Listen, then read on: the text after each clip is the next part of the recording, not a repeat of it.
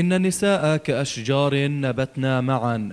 ففي الثامن من آذار بمناسبة يوم المرأة العالمي يثبت الواقع أنها تعمل بجانب الرجل حتى ولو كانت المهنة شاقة وفيها المتاعب.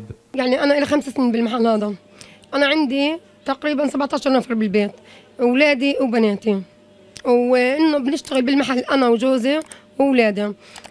جوزي بيدفع أجار المحل ومن إنتاج المحل بنصرف على البيت.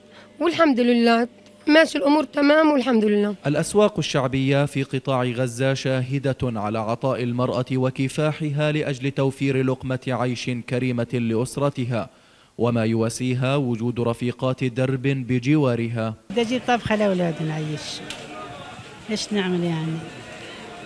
بجي أنا ببيع هالبيعات علشان الله يرزقنا ونجيب لهم هالطبخة ونعيش في ساعتين فار معنا وين ودي والله بطلع من الساعة خمس.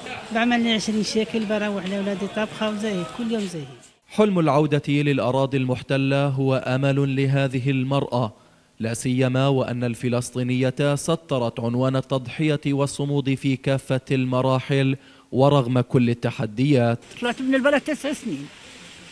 وهاجرنا واليهود بيحقونا وطفشونا وخلوا كرومنا وخلوا بيايرنا وخلوا أراضينا وخلوا قمحنا وخلوا كل شيء لنا في أراضينا. ما حصدنا. وكرومنا ظل زي ما هي والله يا خالتي من كل شيء ما فيها.